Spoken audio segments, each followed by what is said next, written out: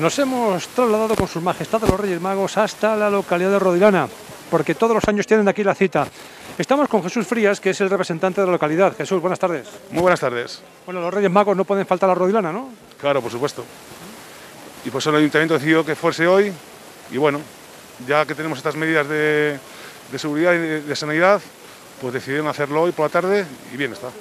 ¿Qué han dicho los niños ahí, ver que se adelantan un día, del día 5 al día 4, sus regalos? ¿Qué han dicho? Sí, bueno, los que más han puesto han sido los padres, que como un día antes. Los niños tampoco creo que, como van a tener sus regalos, pues oye, la ilusión de ver a los Reyes Magos, digo, pues les hace mucha ilusión. Estoy viendo que están los Reyes Magos justamente al lado de un eh, Belén que habéis montado aquí, ¿no? Sí, un nacimiento. Un nacimiento, sí. que preparan todos los años las mujeres del pueblo y es bastante bonito. Lo que pasa es que este año ha habido unos días de aire y se ha quedado un poco deslucido. Hizo dos días mucho aire y se ha llevado un poco los cartones, pero le preparan muy bien todos los años. ¿Cómo han sido las navidades este año aquí en, en Rodilana? ¿No navidades como el resto del país, no completamente, bueno, del mundo, completamente diferentes, pero ¿cómo han sido? No, aquí, aquí también han sido diferentes.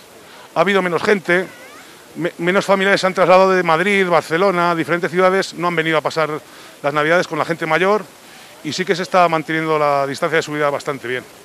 Pues aquí han sido muy prudentes en Rodilana. Sí, en ese aspecto, casi todas las casas no hemos llegado ni casi en algunas ni al aforo.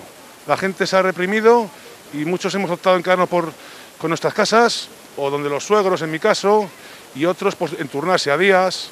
Y ma- la mayoría de las cenas, inclusive te cuenta la gente que con mascarillas, cenando, intentando pues, evitar que no se propague el- el virus. Bueno, ¿qué le pide el representante de Rodilana a los Reyes Magos? ¿Qué les pide para este año 2021? Pues hombre, yo creo que le pido lo que todo el mundo, que a ver si poco a poco la pandemia va disminuyendo y tengamos un mejor año. Y poco más, salud para todos. Feliz año. Vale, igualmente, gracias.